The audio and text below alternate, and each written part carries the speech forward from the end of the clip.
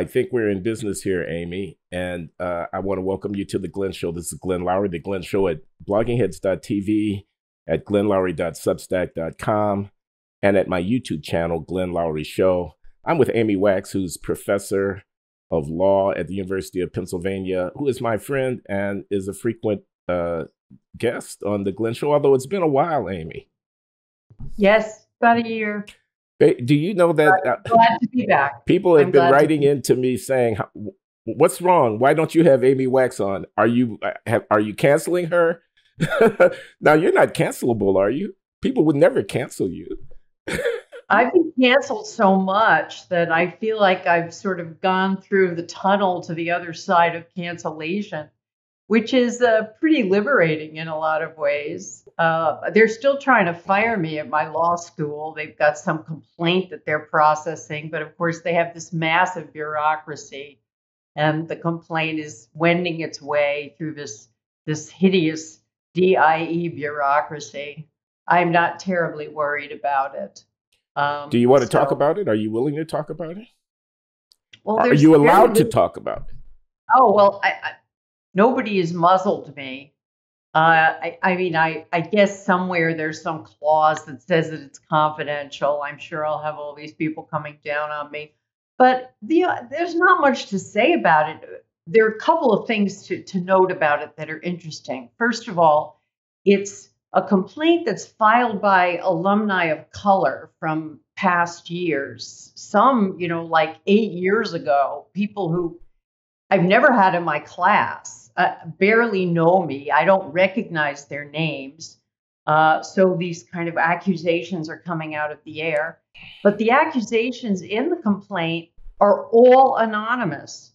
No one who is actually complaining about me of the supposed things I did to them is willing to be named. These are alumni so, who assert you did something while they were enrolled yes, years ago. I did something to them. And of course, I have no idea who they are because they refuse to be named. They're afraid that I'll retaliate against them. I mean, I don't know. I have no power over anybody. So, what do they allege that you have done?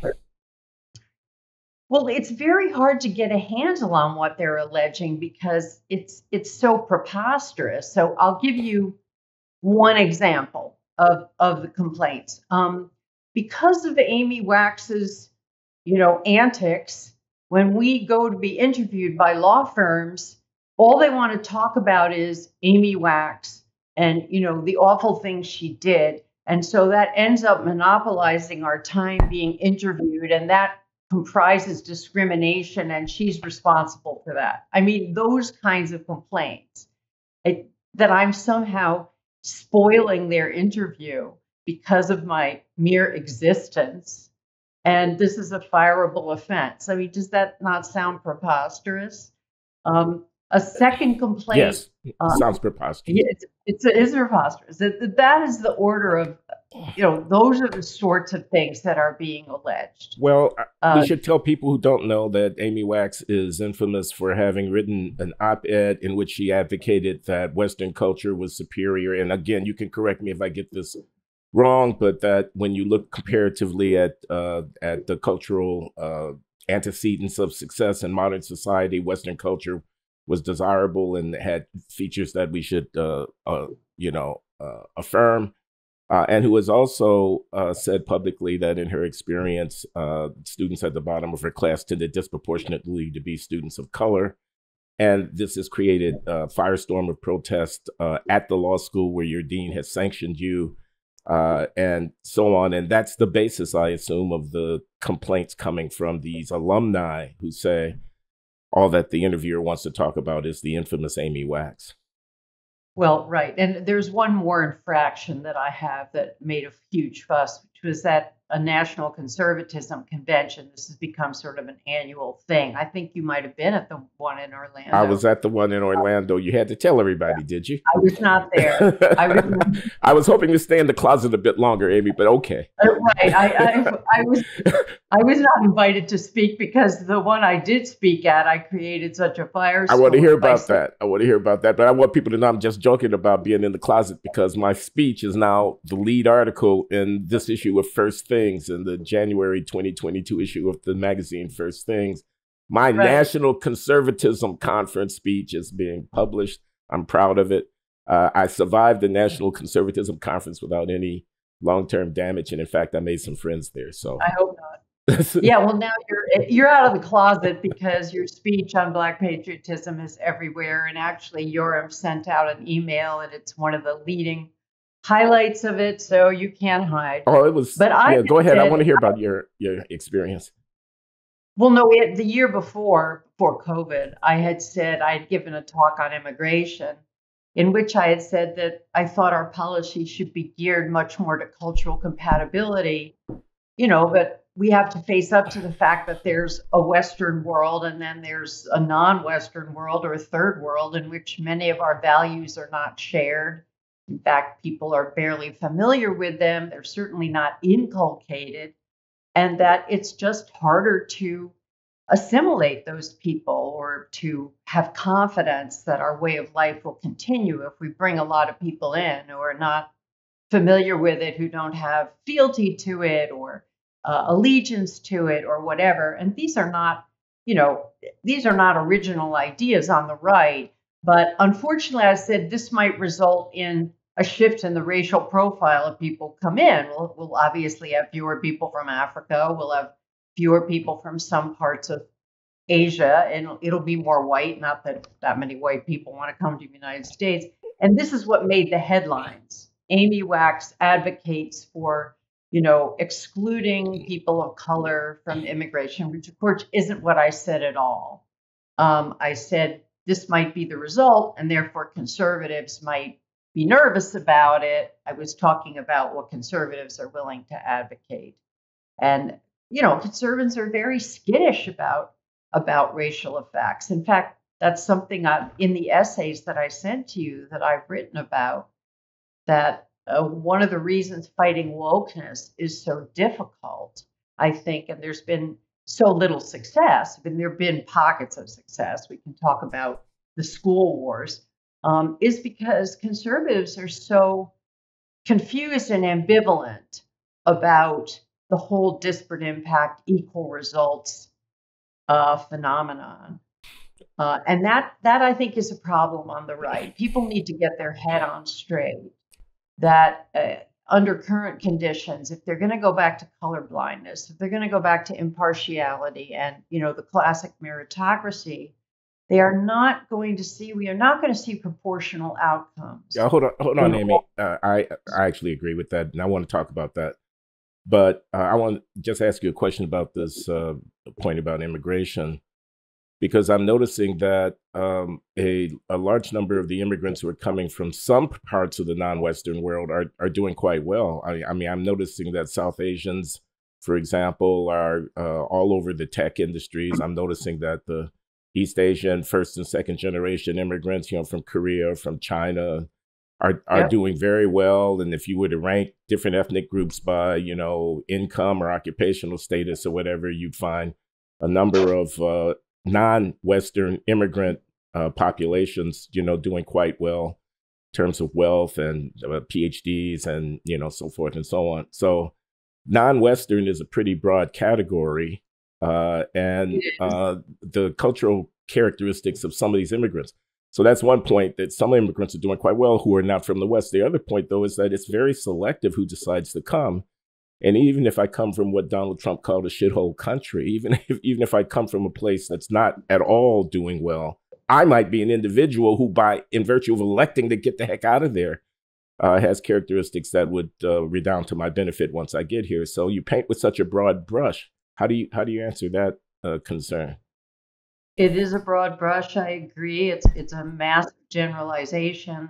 I think it it does need to be refined to reflect a couple of facts that you pointed out. The first is that you know we are seeing signal success of East Asians and South Asians who come here, but of course, as you recognize, they're a highly selected part of the population. They're a tiny, tiny elite. These places are so populous you know, they they have so many people that if you bring in this tiny, tiny upper crust, right? Uh, you you'll get a kind of critical mass of very capable people. I mean, there's no question about that whatsoever. So we have to distinguish mass immigration, which we're getting from the Hispanic, right, south of the border, which I think poses different questions and challenges from uh, the Asian elites that we're getting. Now, that doesn't mean that that this influx of Asian elites is unproblematic. I actually think it's problematic.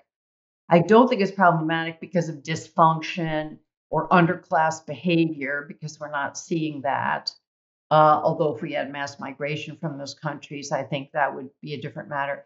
I think it's because there is this, uh, let's call it danger of the dominance of an Asian elite in this country. And what does that mean? What is that going to mean uh, to change the culture? And that's not a popular idea to say that like why why would you ever say anything? Well, what's the like, danger? What, what what would be wrong with having a lot of uh, Chinese or uh, of Indian or uh, the Korean engineers, physicians, uh, computer scientists, um, and uh, whatnot running around here, creating value, uh, enlivening the society? I mean, I don't see how we lose from that. How do we lose from that? Well, does the spirit of liberty beat in their breast? Glenn? That is my question. Now, whenever I say that, here's what people say. Well, I mean, if you look at like the white legacy population, uh, certainly the elites, does the spirit of liberty beat? well, that's not a that's a point. I mean, I, I yeah, that's a good point. they've become so woke, but I consider that a very negative and dangerous What do you mean by the spirit of liberty? You saying they're not Democrats or uh, somehow they're? People who are Whiggish, I mean, small d out Democrats. who are mistrustful of of you know centralized concentrations of authority who have a kind of don't tread on me attitude who are uh, focused on the bill of rights on our freedoms on our liberties on on you know sort of small scale personal responsibility who are nonconformist in a good ways and you know i think it's been written about asians tend to be more conformist to whatever the dominant uh, ethos is. So the wokeness, I'll give you an example of what concerns me, okay, of the sort of thing that's happening. And it's very caught up with the fashionable, multiculturalist, anti American sentiments that wokeness represents, because wokeness is now the luxury belief of the upper class. And that's what Asians think they have to ape if they're going to be upper class. They look at you know, upper class white people and see what they believe. And they say, well, we have to believe what they believe because we want to be upper class too. So if you go into medical schools, you'll see that Indians, South Asians are now uh, rising stars uh, in medicine. They're sort of the new Jews, I guess you could say. But these diversity, equity, and inclusion initiatives, which are poisoning the scientific establishment and the medical establishment now, and I really think they are. Who are the people in the front lines? South Asian women doctors. They are there at the barricades saying, Oh, America is a racist society. It's an awful, terrible society. Of course, they chose to come here from India. Nobody ever asked them, like, why are you here?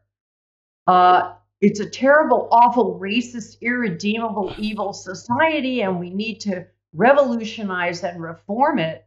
Why are South Asian women saying that? Well, well Amy, Why are they in the forefront of accusing us what and of advocating anti-American what has their sentiment? South Asianness got to do with it? I mean, you just mentioned Jews yourself. You you and I are both academics. There are a lot of Jews in the in the academy. The academy is uh, rotten with the very wokeness that you're condemning. Am I going to blame the Jews for that?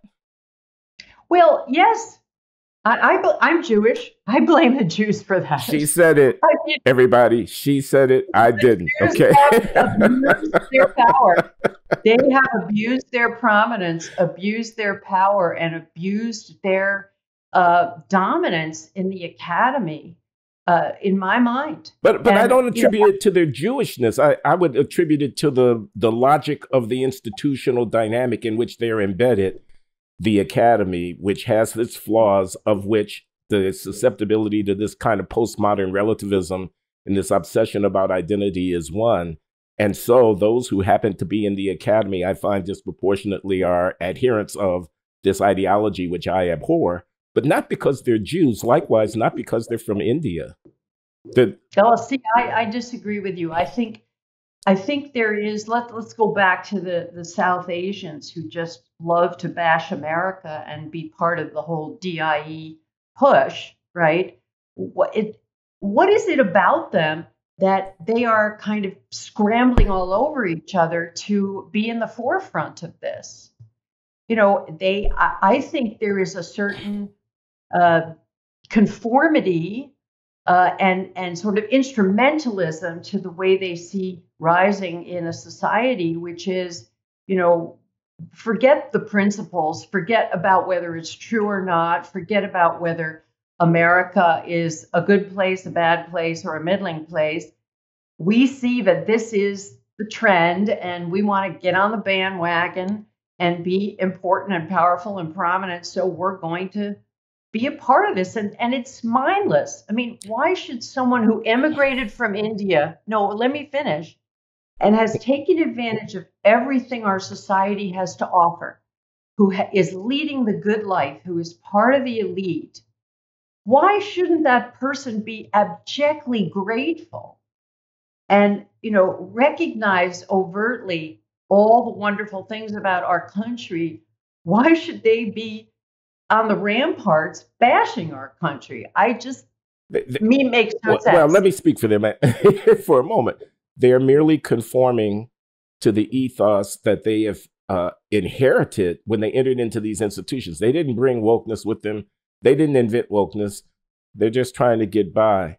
Uh, and by the way, many of them are deeply ambivalent about it. I think your characterization, your broad brush of uh, South Asian, therefore uh, adherence to this wokeness is is not accurate. I mean, I, I think, for example, I just read Matt Taibbi's recent post about Loudoun County, Virginia, uh, and he says, "What was the race story in Loudoun County?" This is a short version of his, I think, very fine uh, reporting. He says it wasn't about critical race theory and how do you talk about uh, race and slavery.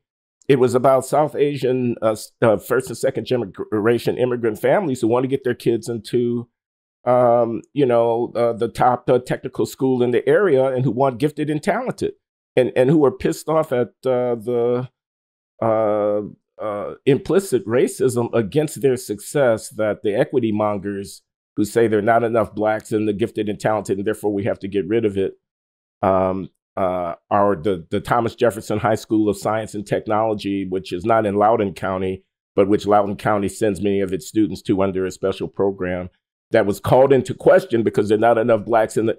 And he says that's the real story that got Terry McAuliffe defeated in Virginia. Brown people, not white people, objecting to wokeness. So, so I, you know. Well, you're right. I mean, there is, you know, these are rank and file people. These are not sort of intelligentsia academics. Maybe a few of them are, but most yeah, most of them, of them are, are engineers and computer science yeah. types who are working on federal contracts for, you know, yeah, yeah, yeah, yeah. And I, I think you know there are some divides within the South Asian Indian community along those lines, but even the ones in Loudoun County who are objecting to you know the the dissolution of the meritocracy, which they think favors them, which it does. Uh, they're their critique is limited. Okay, they they stay away from race because they know that that's you know a third rail. Uh, of course, it's impossible to advocate for the meritocracy and stay away from race, since the two have been melded together by the woke uh, Politburos. So they're treading on very da- dangerous ground. So I agree that there are there are factions within the South Asian community, but they still vote Democratic, Glenn. And the leadership leadership in medical schools and science, they are still embracing wokeness with venomous enthusiasm. Venomous. I, I, I just stare at them and think, I want to ask them, why are you here? Of course, that's a forbidden question. You're not allowed to say, why are you here? That's that's aggressive. Uh, Why yeah, I mean, are I, this is close to love it or leave it, Amy. I, am sure you don't want to. You America, love it or leave it. Come on. No, but there there is an it, there's an intermediate position between love it and leave, or leave it, which is really what CRT CRT controversy is all about, which is balance. We never hear, we rarely hear the positive case, the praise of the founders, the praise of the the traditions of the legacy population, the other side of the story about the fate of Black America. I wrote a Newsweek piece about this. I said, I really against censoring CRT because that's not the American way. You know, the government isn't really supposed to dictate what's being said, although they have some leeway in the education sphere. What I would like to see is someone saying, okay, we have Ta-Nehisi Coates, we have Ibram Kendi, but let's bring in Shelby Steele. Let's bring in Glenn Loury. Let's bring in Bob Woodson. Uh, am I pronouncing his name correctly? Let's bring in Thomas Sowell and let's hear what they let the students hear what they have to say about what the way forward for blacks should be and how they can best advance their own interests and they just never hear that they literally never hear it glenn i'm telling you. They don't know who these people are. Yeah uh, so what, what can we do about that? I mean that yeah. needs to happen I, okay? I i want to blame the institutions. I don't want to blame the ethnicity of the people who are in the institutions. I want to say conformity is something to the what I might understand to be the spirit of the in, enterprise that I'm embedded in. I want to get to the top. I want to get along. I want to have allies. I, I don't want to have opposition. And and so I my antennae are up, and I kind of see the way the wind is blowing, and I have a tendency to conform to that. Uh, and I think that that's a very universal dynamic, and uh, you know. But it's not admirable. It's not admirable. But and, I don't want to blame the fact that these people are immigrants on this. As I say, what about the Jews? I mean, uh, it, it, and if I were to set out and say, look, the academy is rife with these Jewish people who are all on the left and who are all these, uh, you know, sort of closet uh, socialists. Uh, and darn it, you know, I mean, Ellis Island was a good thing, you know, but one consequence for American democracy is that it has dumped all these Jews on us who are so susceptible to to left. Come on, Amy, that's anti-Semitism. At least no, it that, That's what they, no, they that's what they taught me in Chicago. That that was. I, well, I, I, I part company with people who say that that kind of criticism of Jews and Jews, you know, outsized influence is anti-Semitism, and I realize that I'm in the minority on that. But Glenn, you know, because you're okay. a realist, yeah, and you're you're uh, intellectually honest that even though quote unquote conformity is universal, which is a very unhelpful statement because you know it doesn't tell you how universal it is and how it parses out in different cultures, that cultures differ.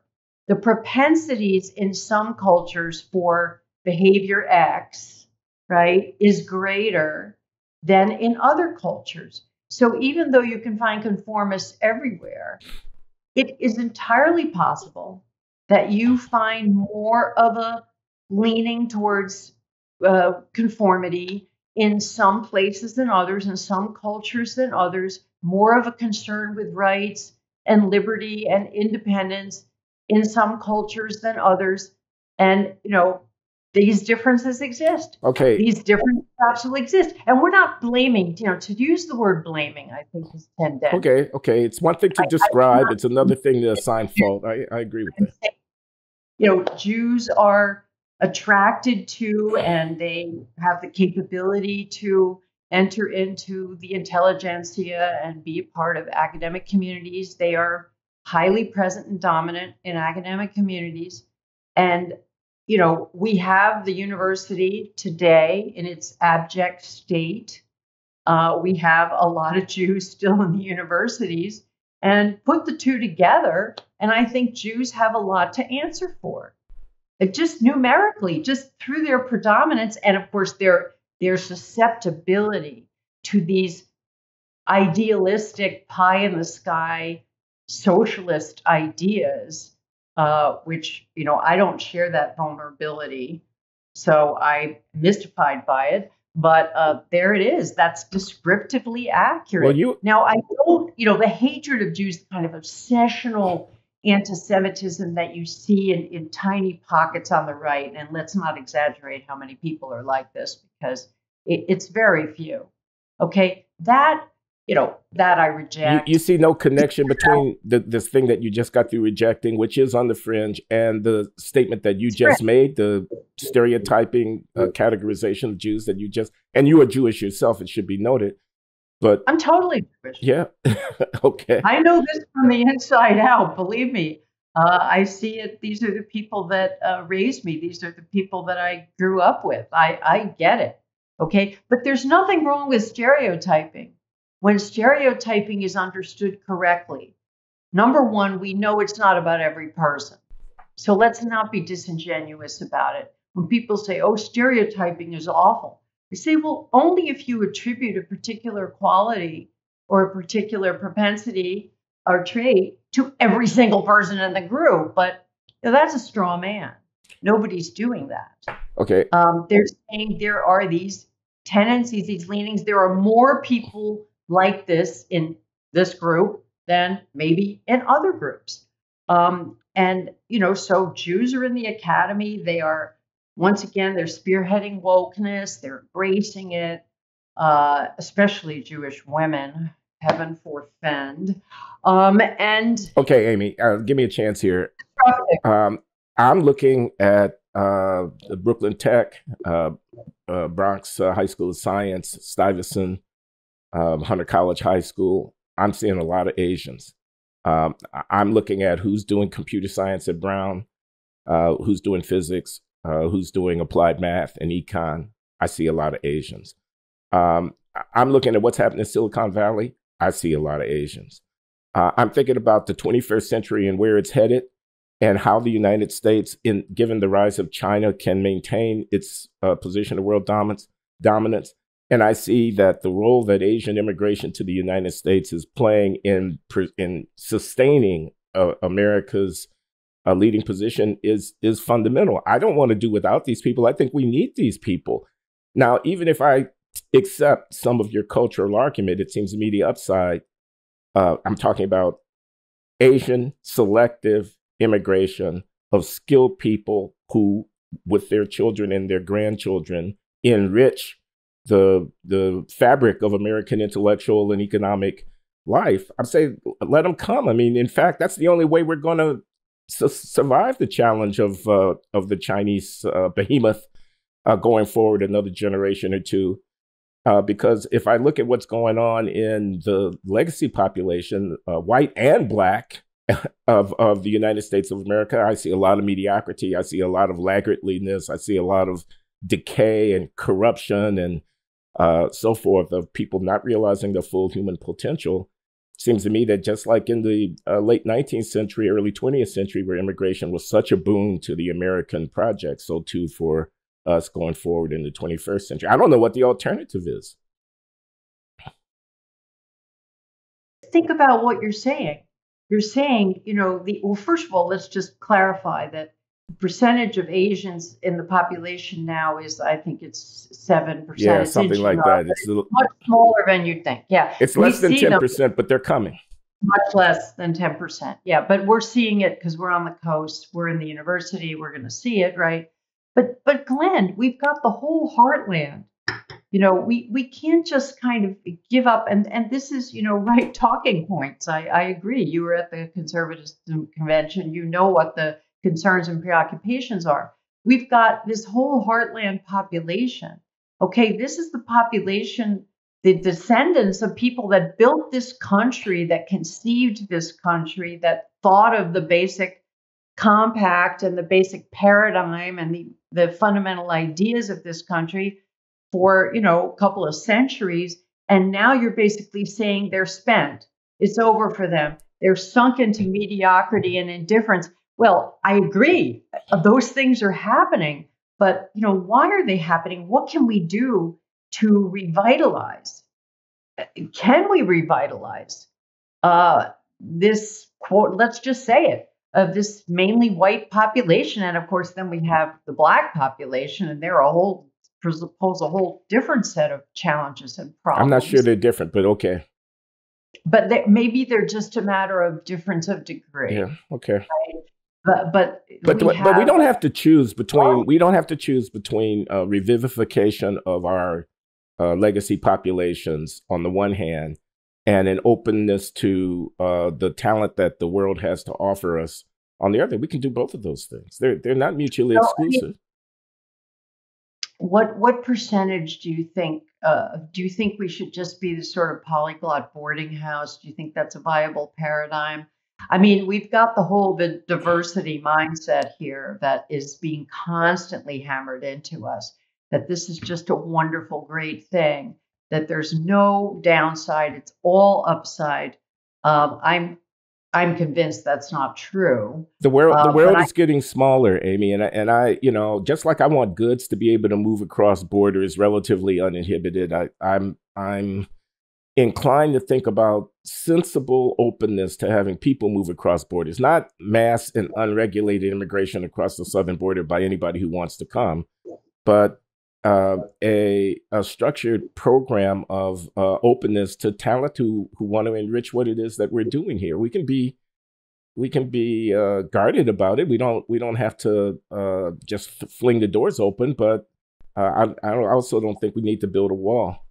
Not against the, the talented people who are going to come here and start businesses and uh, generate patents and you know publish it at the frontier of the you know I, I read a piece, I think it was in the uh, Proceedings of the National Academy of Sciences. I'm pretty sure that's where it was, by some mathematicians, American mathematicians, all of whom had been born in some other country, who were observing that Chinese universities are now successfully recruiting top rate academic talent in mathematics from American universities, not all of whom are Chinese, some of whom are just professors of mathematics at American universities who get a better deal and find that they have a a better environment to to pursue their research uh, uh, at universities in China.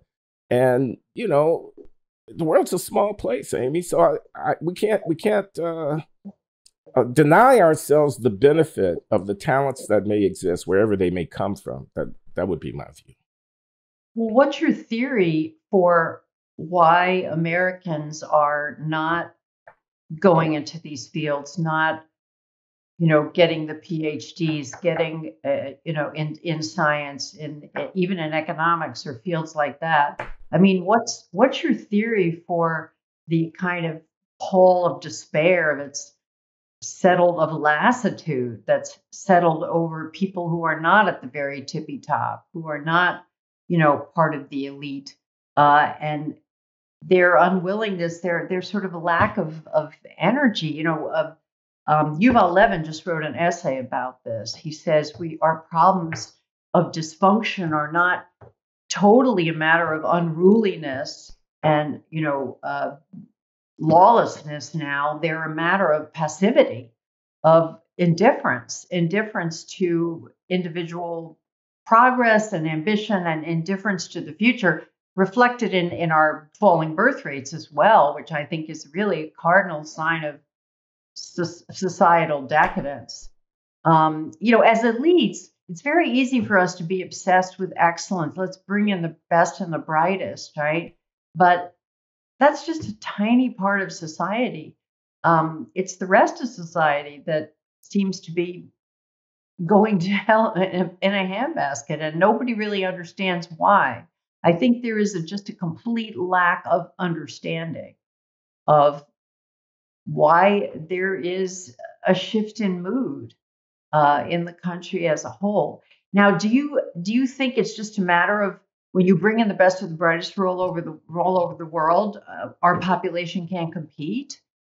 I mean, because we built America and we we went to the moon and we did compete for a very long time, but maybe it's because we were protected. I, I don't know. We accomplished a lot. So I, I heard this argument against the visas, what they call them H one B or something like that, the special visas that they give uh, companies the right to use to bring talent in, say software engineers from uh, South Asia or whatever. And this guy, I don't want to name him, uh, but he, he's a relatively prominent uh, defender of the American nationalist interest against the immigration of talent.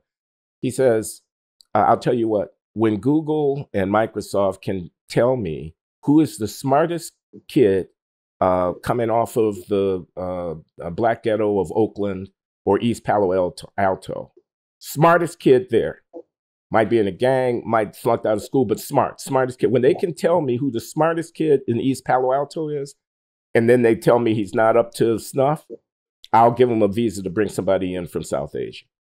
Uh, by which he by which he meant I know the talent is there. Uh, there are diamonds in the rough, and they're not looking for them, and they don't have any incentive to looking for them because they've got an easy safety valve. Exactly. You know, they, they need an engineer. Go find one from East Palo Alto. Get him into a private school somewhere. Get him a tutor or something like that. Get you know, and or her or her, and and uh, bring them along. You're not really trying to to solve the problem right where you are, you because you have an e- easy out. And maybe there is something to that. Maybe there's something to the fact that uh, education policy, which must have something to do with this malaise that you're describing, the failure to excite kids about mathematics. I mean, that's what I think the, in the tech areas, the main obstacle is our kids are very poorly trained K through 12 and in uh, the first four years of college at the technical curriculum. They don't pay enough attention to it. They don't get their uh, skills developed in it um, you know, uh, that kind of thing. Uh, maybe if the private sector didn't have that safety valve of being able to go offshore for their talent, they'd uh, be involved in school committee elections, they'd be involved in developing curricula, they'd be involved in innovative supplements to the K through 12 education that people are getting in the classroom, and find ways of uh, bringing that that uh, human potential out in our domestic population. I, I would be for that. Yeah, but you see why the failure to do that well, and, and it's a very complicated subject, uh, is so caught up with the influence of wokeness and this equalitarian obsession that has sort of taken over, uh, you know, education. I mean, we now have this dominance of a education establishment that is affirmatively anti-excellence, affirmatively anti uh, meritocratic. They what's happening to the mathematics curriculum in California is is emblematic. I mean, yeah. you're not going to get any place when you say, well, nobody needs to learn calculus. Calculus is racist. Calculus is a, a token of white supremacy and all of the That nonsense. is an abomination. I mean, that that is but just horrible. I, it, it's happening in New York City. It's happening all over the country, and the Democrats are in their pocket.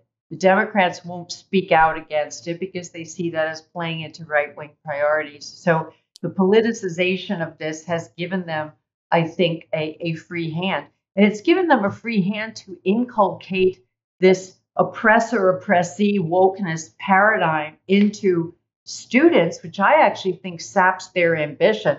It's interesting because I've I've recently gone to dinner with a number of uh, let's I won't call them alt right because that's the left's term, but uh, very right oriented people, young people, male people mostly as they are. And one man who I socialized with who's about to get married, there was only one topic he wanted to talk about. How do I keep my kids from going woke? Let me just say this though, Amy. The reason this thing in California, this antipathy to calculus to the pre-calculus classes that they teach kids in high school is terrible. I think it's two things. First of all, you can't do anything in STEM if you don't master calculus. So that's disqualifying. Secondly, it's so empowering the you know to a kid. I mean, imagine a poor kid whose environment is not all that stimulating, whose parents might not be all that swift and and, and educated, whose peers might be doing a lot of uh, destructive stuff, but he's sitting in his uh, library carrel or he's sitting in his little study corner someplace and he's turning the pages and he's discovering or she the power of these mathematical methods, the beauty of them. Connections are blossoming in this kid's mind. The world is opening up to this kid. I mean, this is an anti poverty program. The, the intellectual uh, vigor that comes out of the mastery of something that's difficult and, and you apply yourself to it and you get command of it and then you get to use it and you use it to solve problems that you never even could have thought of before. This is liberating. This is empowering. So uh, it's horrible. Right. It's horrible. Uh, it's horrible that this would be denied to the kids who are capable of it because there are so many kids who are not. I mean, we, we shouldn't punish the kids who are capable of this uh, on behalf of uh, a faux egalitarianism that levels everything down to mediocrity instead of letting those who have the ability and the interest to show their uh, show their mettle. Well, of course, that's precisely what we're doing, and you have to understand. Going back to something you said, math is difficult. Math is hard. It requires a lot of effort, a lot of focus and concentration, and not everybody can do it. Not everybody can do it well, right? Right. But the problem is, we now have a system, and it's everywhere. It's pervasive. Where the minute you encounter obstacles and difficulties, or get a poor grade, or you know, get bumped out of a gifted class, the explanation, the all purpose explanation is racism, right? Any kind of evaluation that distinguishes people is racism. I'm not exaggerating here, Glenn. I am not exaggerating.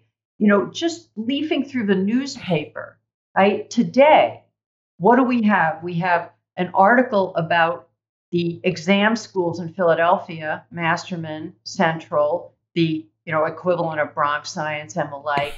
Uh, we have an article by a black woman saying, Isn't it wonderful that we're getting rid of these exams, of these, you know, hurdles, of these selection methods, and everybody can go to these schools because these selection methods are uh, racist, they're white supremacist. We got to get rid of them. And, and, and that effort has succeeded in Philadelphia. It, they were trying that in New York, and they got struck down. Uh, they have succeeded in with Masterman, which is their jewel in the crown. All right, Masterman is no longer a school that you have to qualify for academically. At least, if I could believe this article. I mean, very often you're not getting accurate information in these articles, okay. so it's all euphemistic. But Masterman is no longer Stuyvesant. It's no longer uh, Bronx Science. It's just another high school, and everybody's going along with it. But there's nothing in these articles, it's almost verboten to recognize that people differ in intellectual ability, that not everybody, you know, can has the the chops to be a professional. But I mean, all of these concepts have been discredited, not just discredited, they're banished. They're not even there. Another article. Why are there so few blacks in the C suite? Reviewing all of these corporations, you know, blacks are, they say they're 12% of the population. I think it's more like 13 or 14%. Uh, this company has only 3% black executives. This company has only 8%. Um, that's terrible. That has to change. Nothing about the pipeline, nothing about know, what what do blacks major in in school?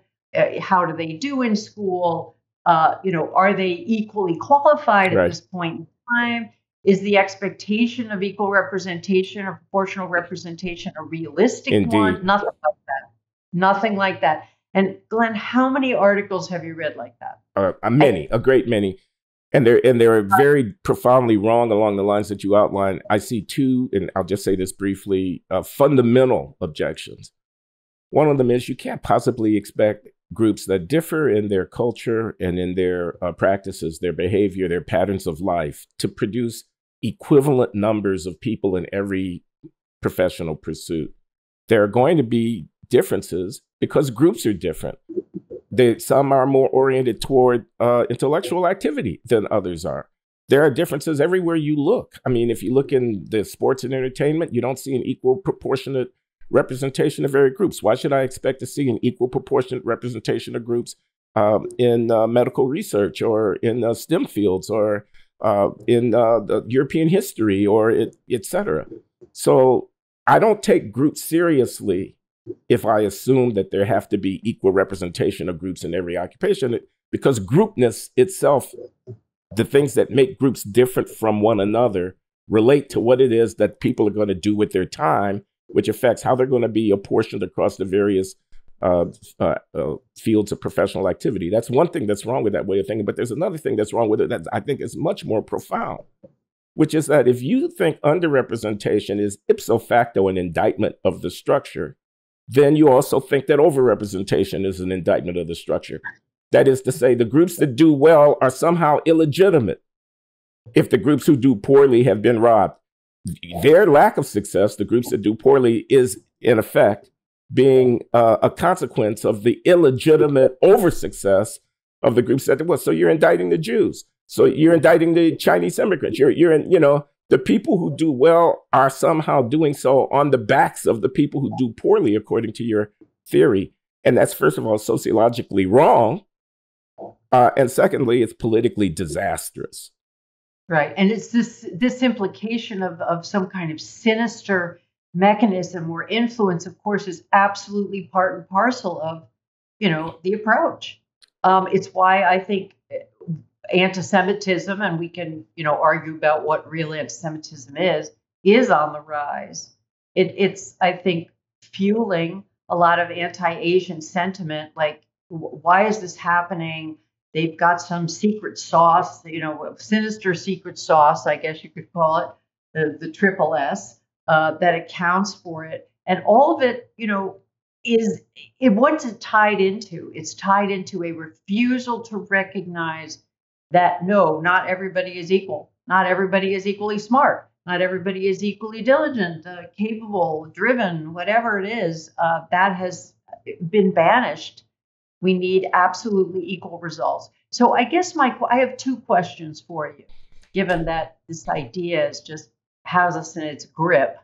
Um, first of all, what do you think the best way is to fight this? I mean, you're you're at Brown. You know that this is just accepted as the gospel truth. Uh, anybody who deviates from it is, you know, endangering themselves. They may get away with it, but as as you often do get away with it because you're so reasonable and articulate in the way that they've just decided to give you a pass. I don't know. Well, I'm also um, black, Amy. I think if I were white, if I were white, I'd be finished. I'd, I'd be over there with Amy Wax. well, I'm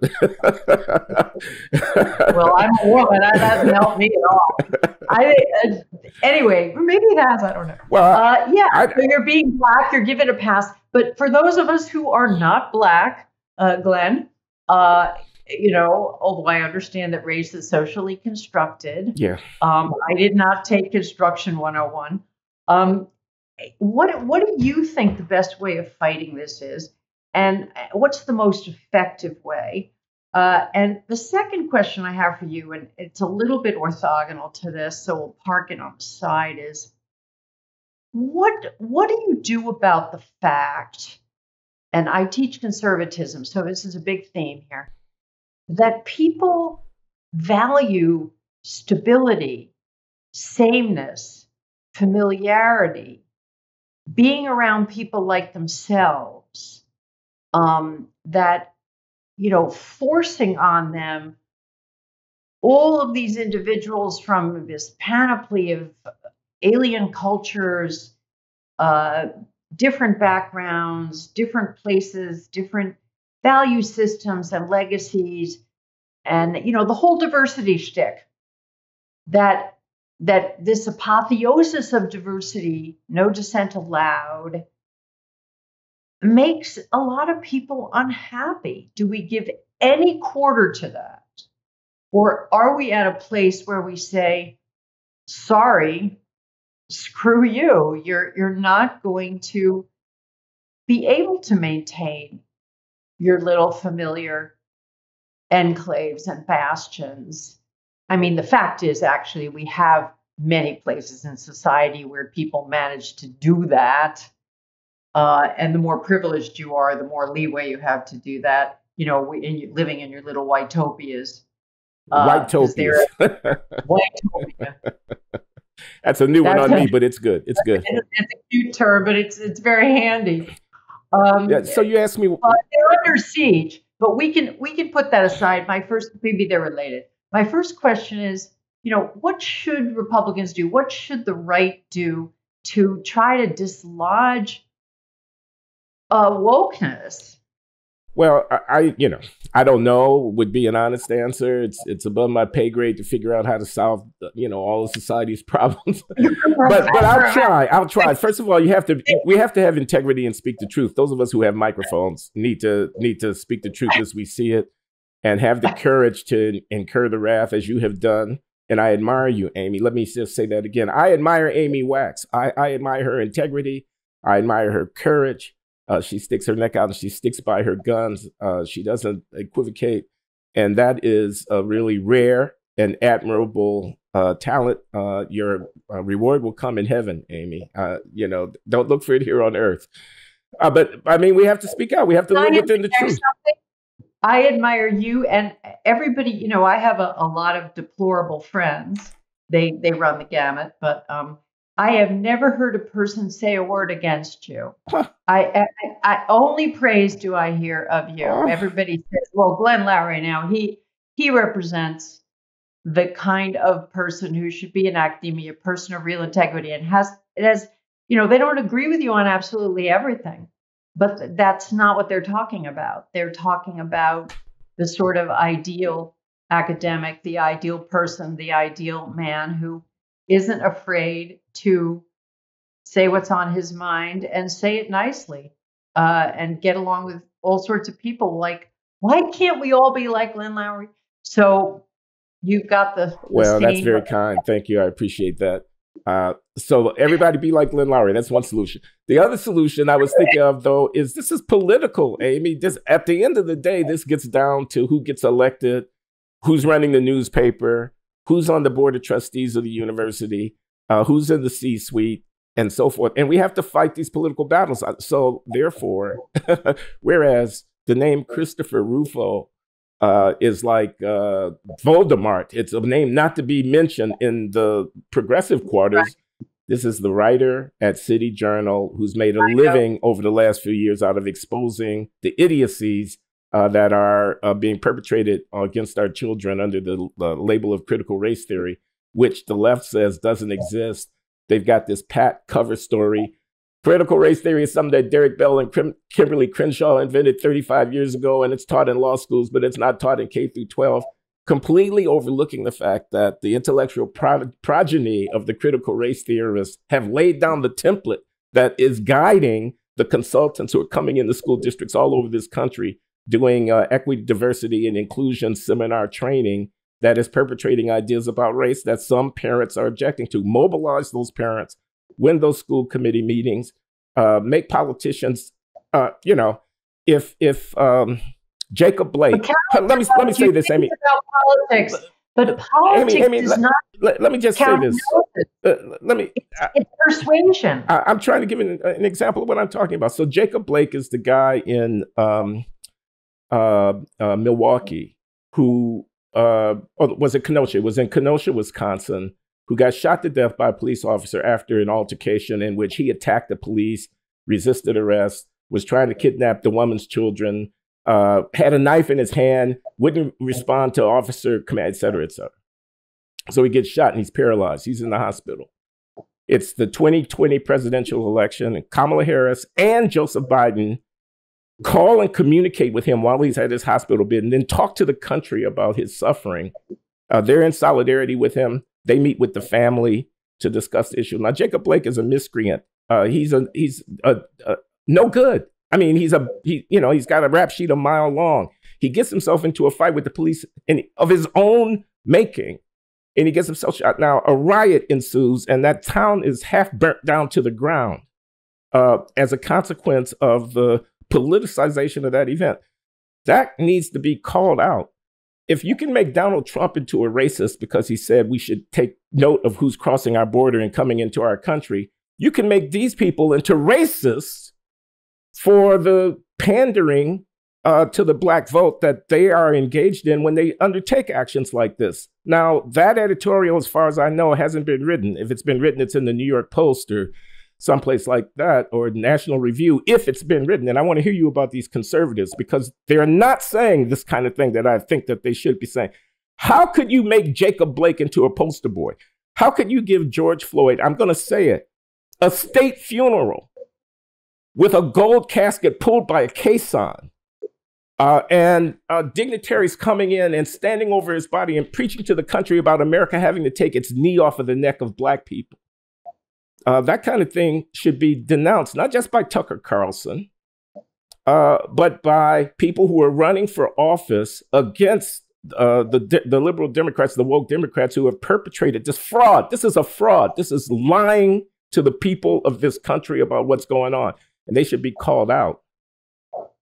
Yeah, well, there's two things going on here. First of all, it is being called out uh, in by journalists, by right wing journalists who are writing in places like the New Criterion, even National Review, which you know, National Review has serious cuck tendencies. They still have this fantasy that they can please the left by you know trimming and and you know making nice and all this, which I think is a totally ludicrous fantasy. But for example, if you look at Michael Anton, who's a Claremont, yeah, I know, Claremont, I know Michael.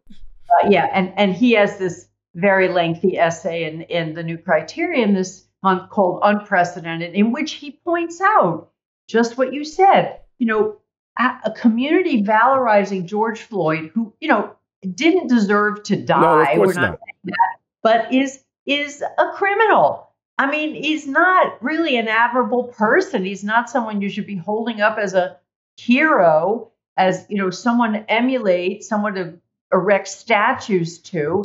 That's that's Or name acts of Congress after, which is what they've Yeah, done. no, no, no, no.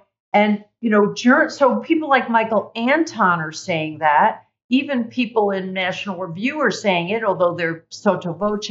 But what you're saying is, where are the Republican uh, politicians who are saying that? And you're absolutely right. They are afraid to just come out and say, uh, "I'm sorry, but George Floyd doesn't deserve valorization." Here's another thing they're not willing to say. They're not willing to say, you know, every story that we read about a black guy getting killed, armed or unarmed, by the police is a story of a black guy who's resisting the police, who's running from the police, who's fighting the police, who's not behaving the way we should expect ordinary citizens, black, white, and other, to behave towards the police. Now, the woke, the woke have answers to all of this. That's the problem. And frankly, even Republican politicians are afraid of the woke. They have this fantasy, which is parallel to the fantasy of the intelligentsia, that they can woo black voters, that they can please the left, that they can somehow curry favor if they don't point this stuff out. If they don't just come right out and say what a lot of ordinary people are thinking, frankly, Glenn, Yeah. uh, which is, you know, why why do black men so uncooperative with police? Now the woke say, well, that's because the police are racist. You know, the police are out to get them. Uh, if they cooperate with the police, they'll be murdered. They have to run. They have to resist, which you know is bullshit. Okay, and and it just establishes a normative standard that is lawless. Uh, where, yeah, I agree with you. Where are the politicians who are pointing out the obvious?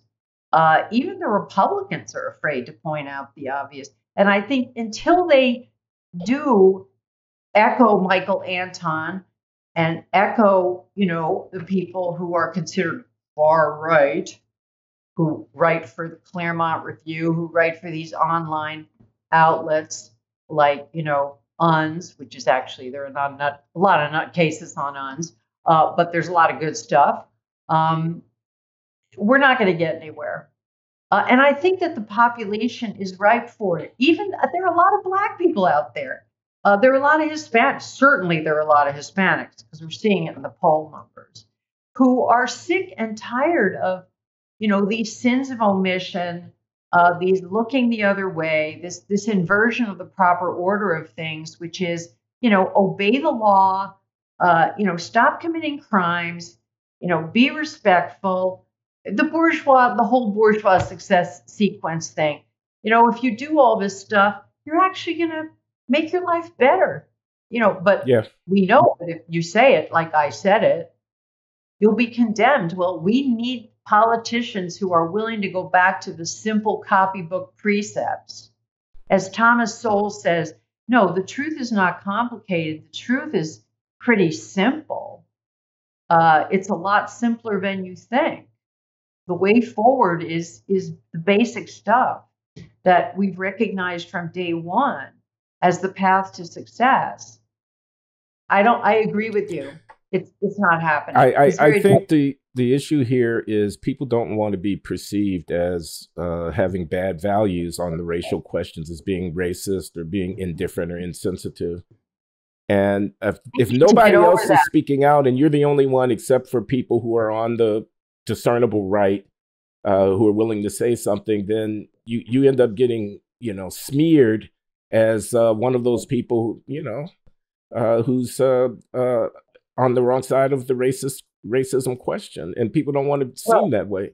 But I, but it's a collective action problem. A, exactly. I mean, if you get a critical mass exactly. of people, because the underlying beliefs are consistent with your uh, critical uh, point of view against wokeness. I think most common sense people know that the police are not the uh, enemy, the implacable enemy of uh, people who are living in the inner city, and they know that meritocracy is actually a good thing, not a bad thing, in order to encourage the uh, allocation of resources to the people who have the most talent and things of this kind. Uh, they know that, but if no one is saying it, and if everybody's being called a racist who even hints at it, uh, people are taking cover. But that's not necessarily a stable situation. once enough, you say a critical mass. Once once enough objection starts getting voiced, uh, it becomes safer for more and more people to join the the uh, dissident, um, uh, you know, herd, and eventually we we can flip the script. I'd like to think that that's true. But what's happened, I think, uh, in the in Virginia with the and and its school districts across the country is is very uh, heartening and encouraging. But of course, it's it's it's confined. It's kind of uh, well circumscribed that this is about schools and it's about what they're teaching our children in the schools. And you know, you don't have to broaden it into some larger, comprehensive critique of the whole woke paradigm. Uh, you just need to say uh, we we want our we don't like what our children are hearing or something like that without getting into excruciating detail. But I, I think that's that's a wonderful wedge. Um, and you know the problem with wokeness, and I, I said this in my review of Charles Murray's book Facing Reality, is that it's an all-encompassing, self-affirming, self-enclosed worldview that has an answer to absolutely everything. Right? everything is a matter of the oppressor and the oppressed.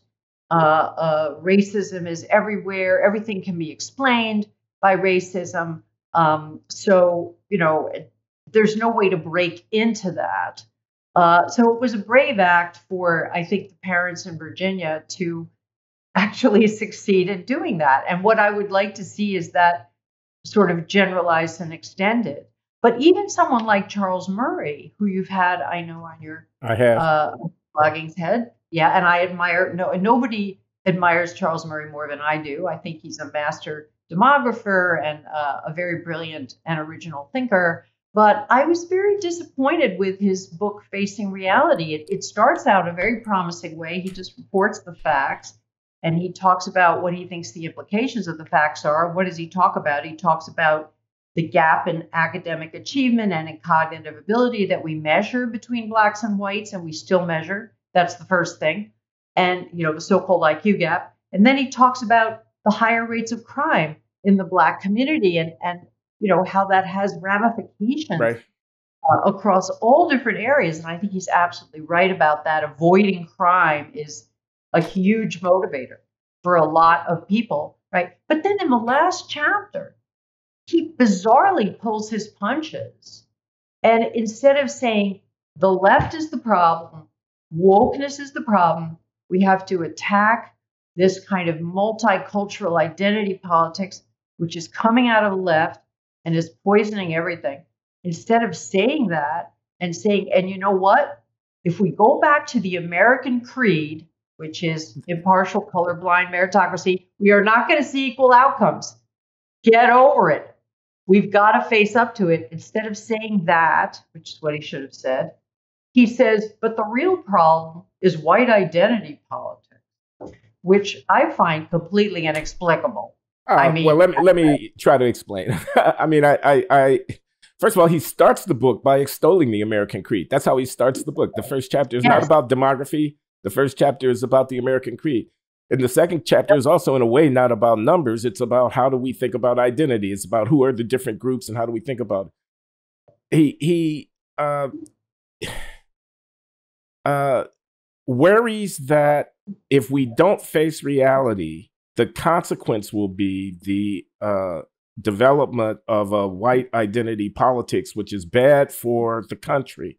I think that's correct, actually. I think both the prognosis that the long run implication of wokeness is white identity politics. If you can't you can't categorically condemn whiteness, I think, without inducing a pride and ownership of whiteness amongst the people who are resisting your categorical condemnation.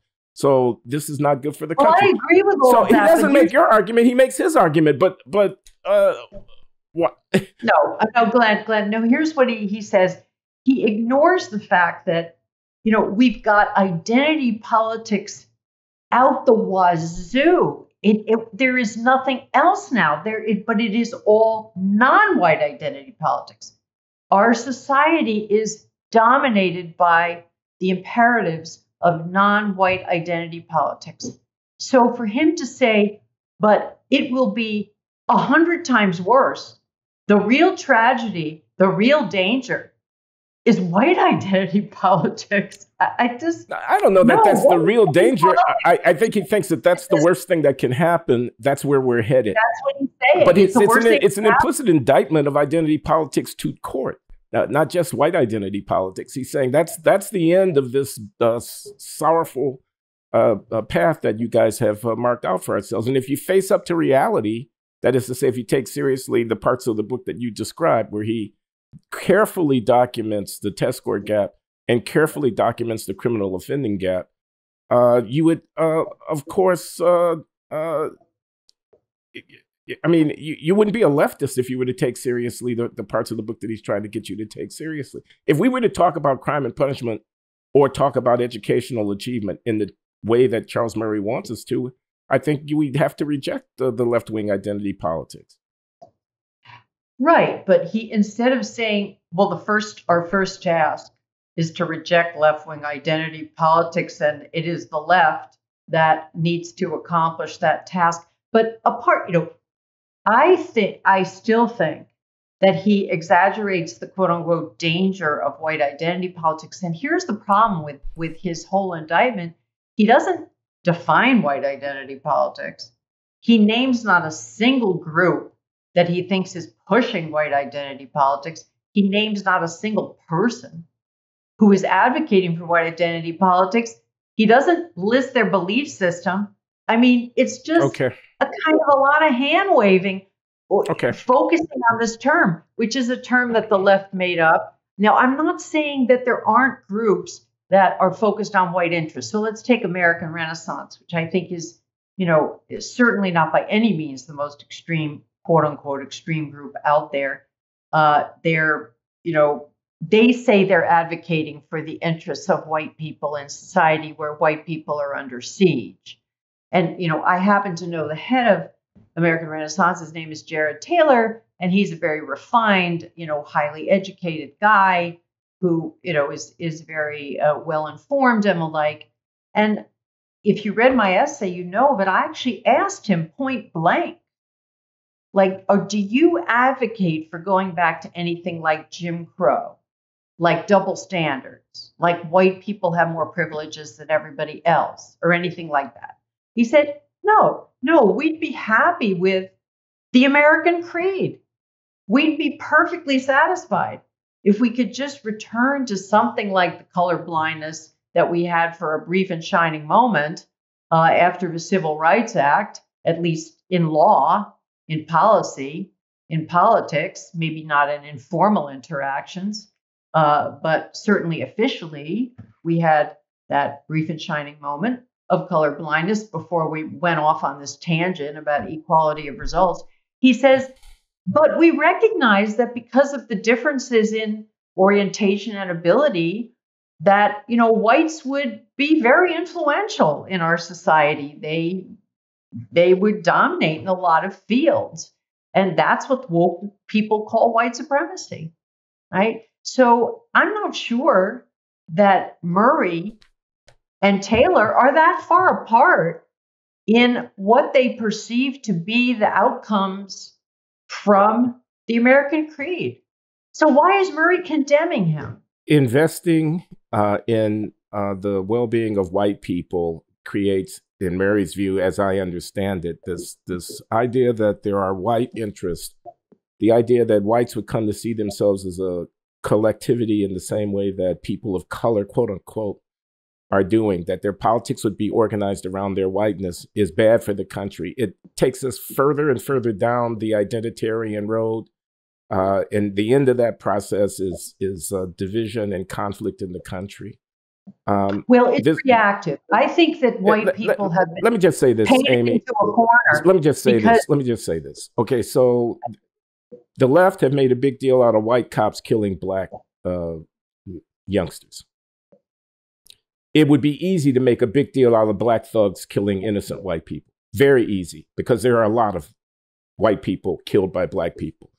You could have a website, Actually, it may well exist. It may well exist. You could have a website where every day of the year was dedicated to an innocent white person who had been ravaged, home invaded, carjacked, uh, randomly uh, sliced with a knife at a sub- subway station, uh, shot at uh, two o'clock in the morning because they were walking along the wrong street at the wrong time. You could easily do it. Easily. You could take the Waukesha massacre, where a white town, I've been to Waukesha, Wisconsin. It's the most Republican county in the state of Wisconsin. It looks like something out of a Norman Rockwell painting. It's a very, very white place. They're having a Christmas parade. A black man with a rap sheet a mile long drives a vehicle into that crowd, kills grandmothers, kills grandmothers, dancing grannies, they call themselves. And I think two or three of them actually got killed by this guy. Uh, dozens were injured. He mowed down a parade of white people with a vehicle. Now, that could easily be interpreted. I don't know if Jared Taylor talks like this, but I could hear him saying it black thug let out on by one of these George Soros loving uh, prosecutors who are getting rid of uh, pretrial detention and uh, not bringing cases against property crimes that are below a certain level and are basically throwing the jail doors open. And one of those people who was let out on a thousand dollar bond for a crime that he should have been held for mowed down a parade of white people. A black racist. Look at his uh, Facebook posts and whatnot uh, this is uh, Darrell Brooks. Um, and uh, apparently he doesn't like white people and he mowed them down. Now, that's a crime against white people. White people need to defend themselves. That's the kind of talk that I could hear Jared Taylor engaging in. I don't know if he said it or not, but that's what Charles. Mar- that's what Charles. Mar- okay, then more power to Jared Taylor. Let me not. Uh, in, let me not malign him. It's not about him. That's what Charles is worried about. He, he's he's worried about an American politics in which you mobilize white people against the depredations of these vicious criminals who happen to be black, who are black thugs in the minds of the demagogue who's going to be pushing this political line and says if white people don't defend ourselves, these are militias. They're going to get armed. They're going to end up in conflict with people. Then no one, no one else will. You see what the politicians are doing? The politicians are siding with the black thugs. We white people need to defend ourselves. Now, if that's not bad for America, I don't know what is, Amy.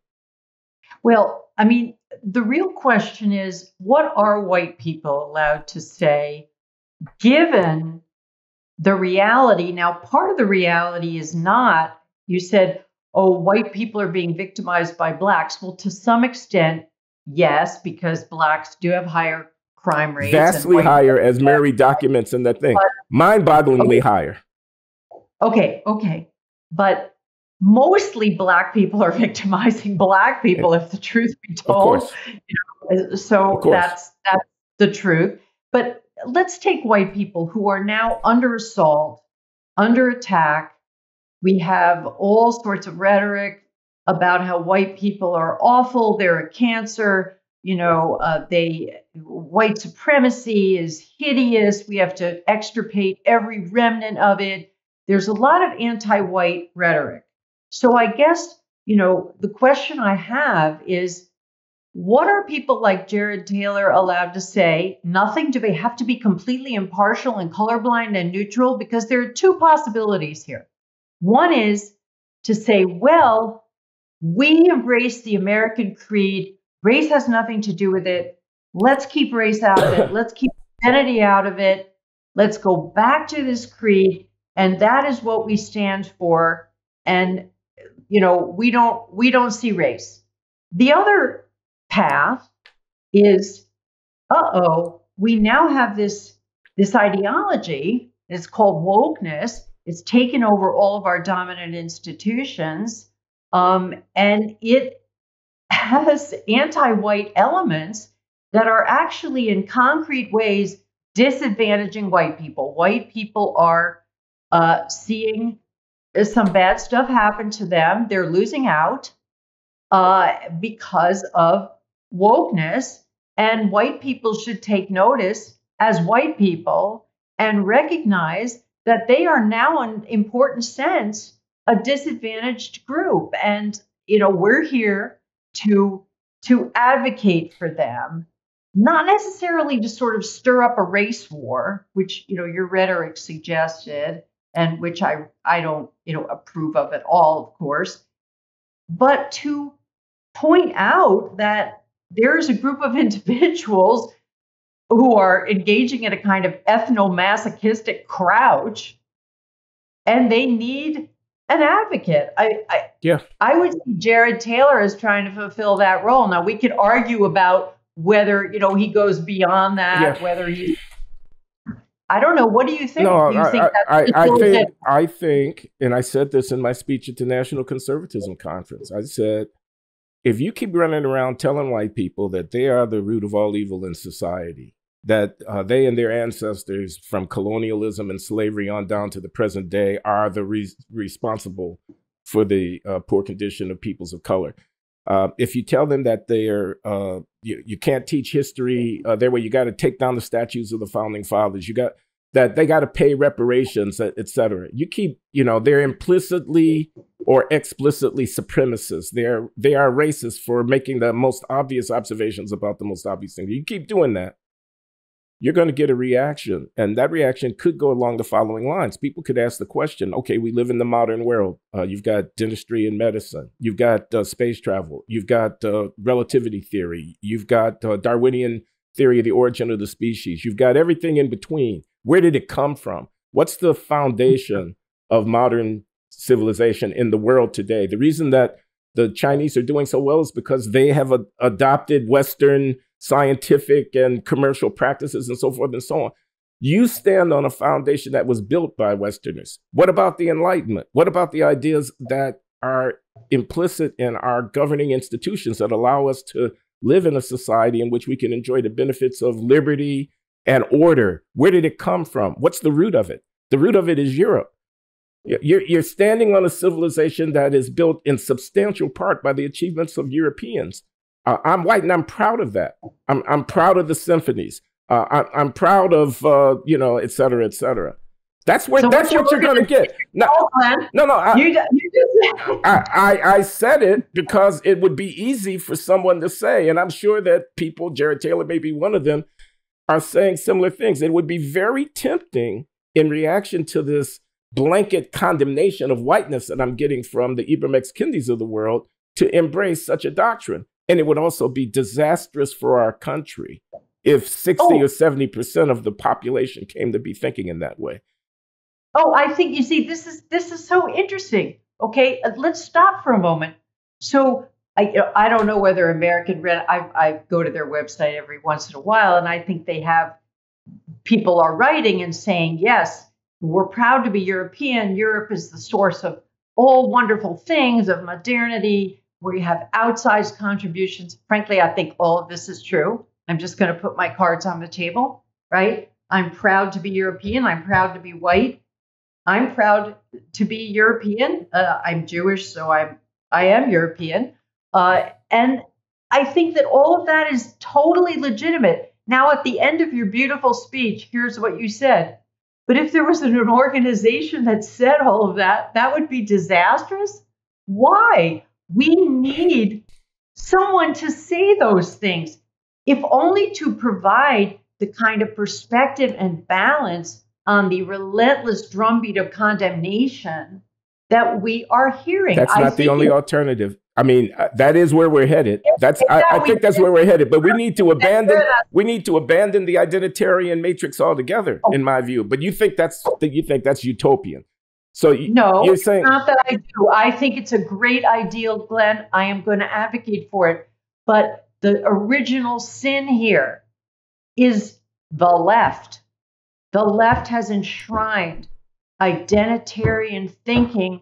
It is everywhere, everywhere you turn, every time. I agree with that, but but two wrongs don't make a right. They're wrong. They're wrong about that. Two wrongs don't make a right. Okay, I don't think it's identitarian thinking to say and tell people and inform them, okay, that Europe has been the source and the author of so much of what they benefit from. I don't think that's an illegitimate point to make. I mean, have no, you read I, I agree with that. I agree with that. Uh, and, and, and, and, more, and moreover, I would I would go further. I would go further.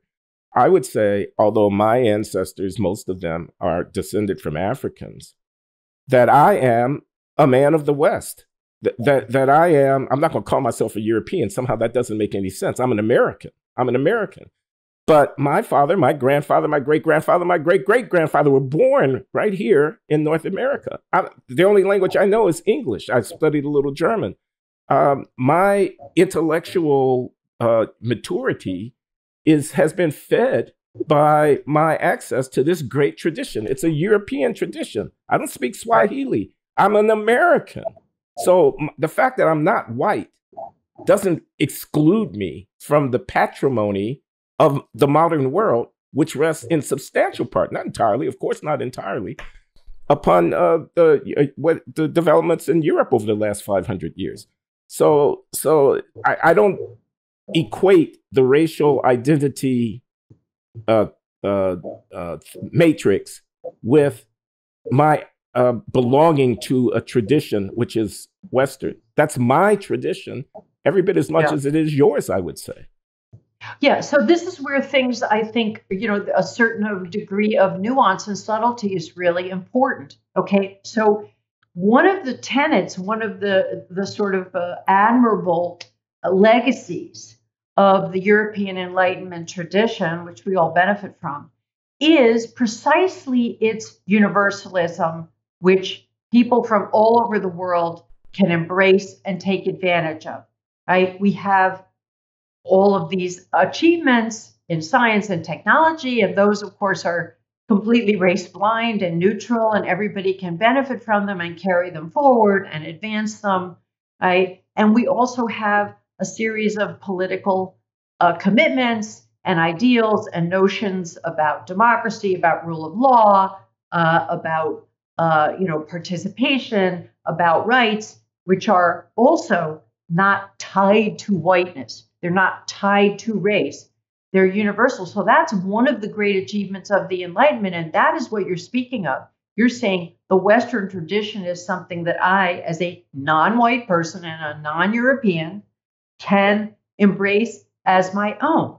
Right. But it is not contradictory to recognize that, but also to acknowledge that whether we like it or not, all this stuff is the product of a particular group of people in a particular place at a particular time, and that there is a certain degree of pride that the ancestors of those that the uh, progeny of those people can pay in what their ancestors did. I mean, I think it gets very complicated.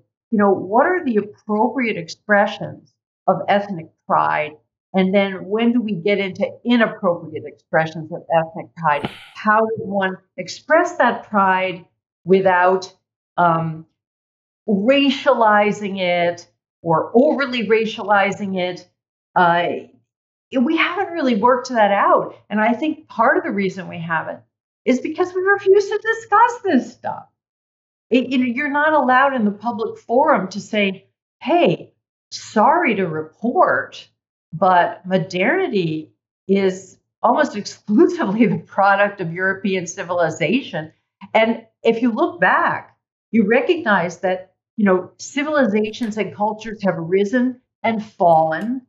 And what we see is a pattern where promising developments have kind of flattened out in Asia, in the Muslim world, and Europe just took off.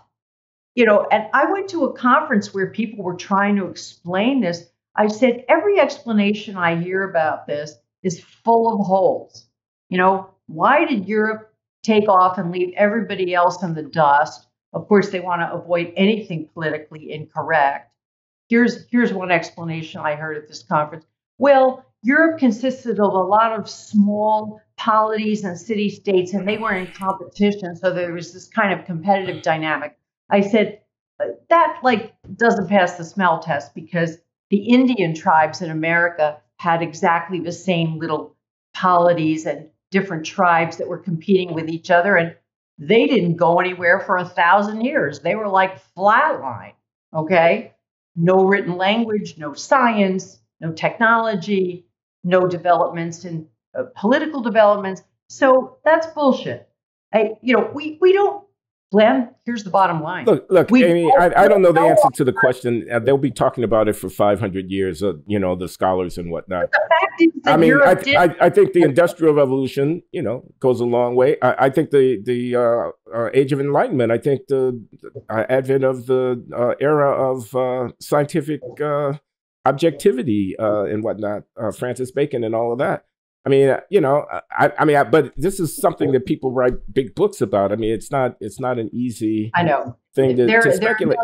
But uh, and of course, the European European developments were not unrelated to things that were going on in other parts of the world, and uh, it, it's a it's a complex dynamic. I mean, uh, you know, so, but but the, the, the fact of the matter is that after 1500, stuff started happening in Europe over the next couple of hundred years that have set the stage for the modern world. That is absolutely a fact.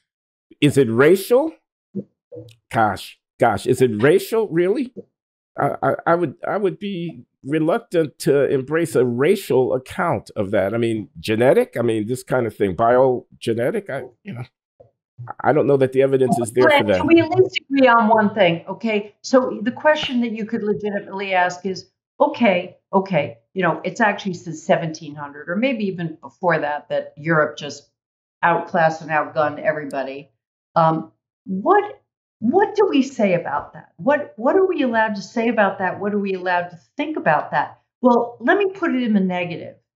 Here's one thing that we shouldn't be saying and one thing that we shouldn't be thinking which is that, you know, European culture is a cancer on humanity, uh, that it's entirely negative, that there's nothing good to be said about it. We can't admire it. Yeah, we can't valorize it. We can't, I mean, that we need to get rid of. Yeah, here, here's I, here's the argument they're going to make. I mean, they're going to say, "What about colonialism?" They're going to say Europe raped the world. They, oh. they stole the labor of the Africans. They stole the raw materials from the Asians and the Africans. Uh, and uh, they uh, exterminated the native population in the Western Hemisphere. Uh, it's a rapacious, uh, greed-fueled, uh, militaristic. They had they got a few steps ahead of everybody else with the with the weaponry and the metal metallurgy and the whatnot in transport, and they used that minor advantage in order to primitive accumulation in the terms of the Marxists in order to dominate, exploit, oppress and the foundation of European wealth and success is built on the graves. Of, you know, they're standing on the broken bodies and the skulls of the hundreds of millions who were pressed into service or dominated in one way or another by uh, European militaristic hegemony.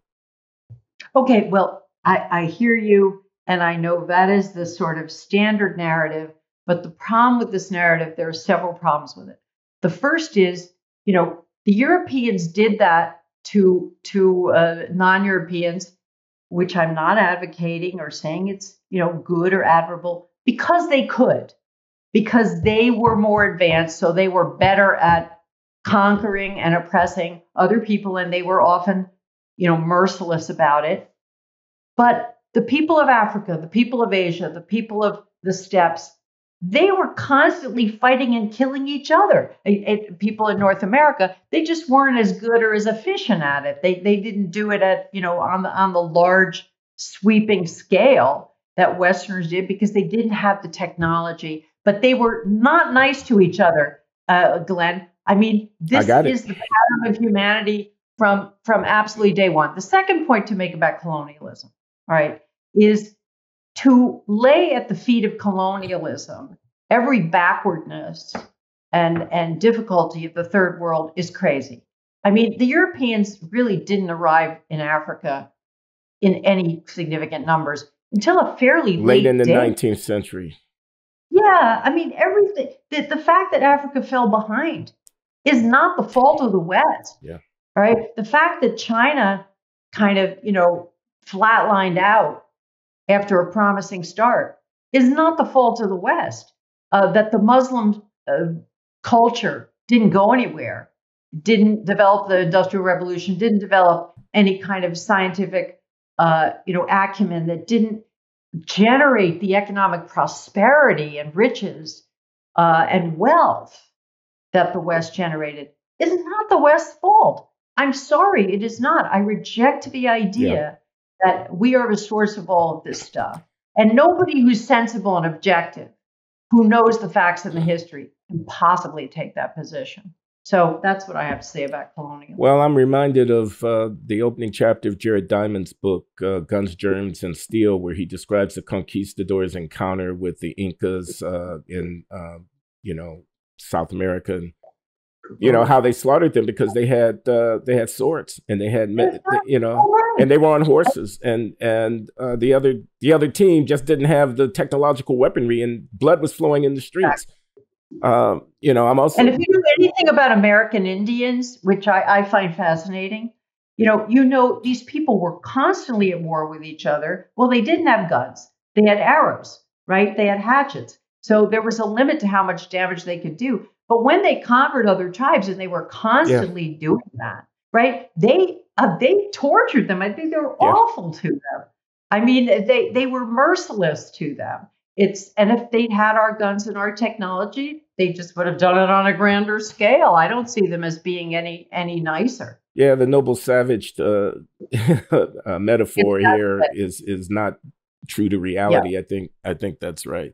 But I'm also remembering uh, what's his name, Adam Hochschild's book um, about uh, King Leopold's ghost is what the book is called, and it's a history of the relationship between the Belgian and the and the Congolese and the extraction of rubber and you know it, it, and total exploitation. Okay, I mean but, just awful, Amy. All they got the manifest of the boats. The boats are going down from Liverpool down to uh, to Africa. They're going full of ammunition and rifles. They're coming back full of uh, rubber and and extremely valuable, you know, uh, raw material.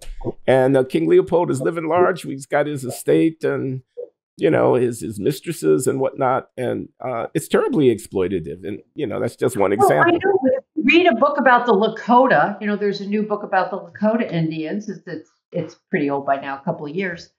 Um, you know, and they try to make out like you know these people are sophisticated, noble savages, but the fact is that they did awful things to each other. I mean, the tortures that they inflicted on each other uh, really they can compete with what uh, happened in the Congo. Um, they they're no better. I think the uh, strongest argument on behalf of your position, and, and we're going to have to conclude, but I.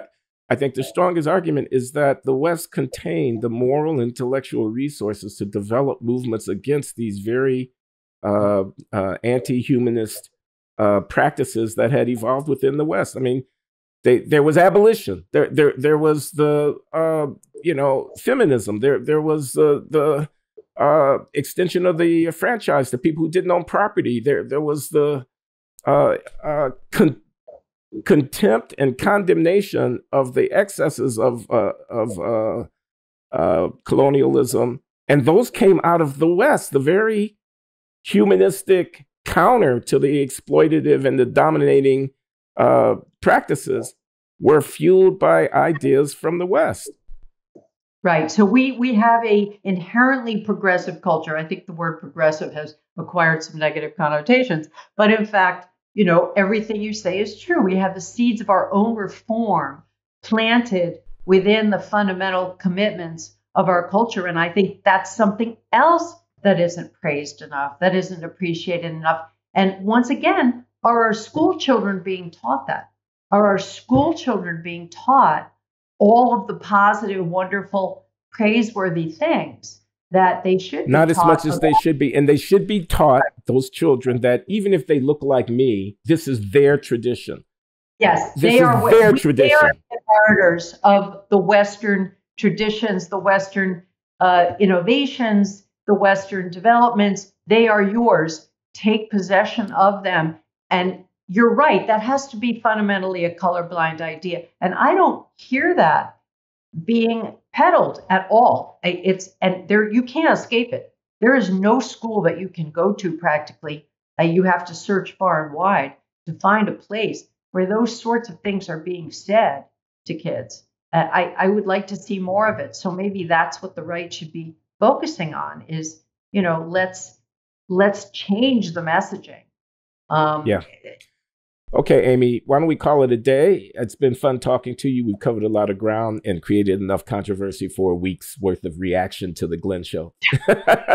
Thanks for coming on, Amy. I really appreciate yes, it. We didn't get around to bashing feminism. That would have been fun. Uh, but we'll do that next, next time. time, Amy. Yes. Okay. Next time.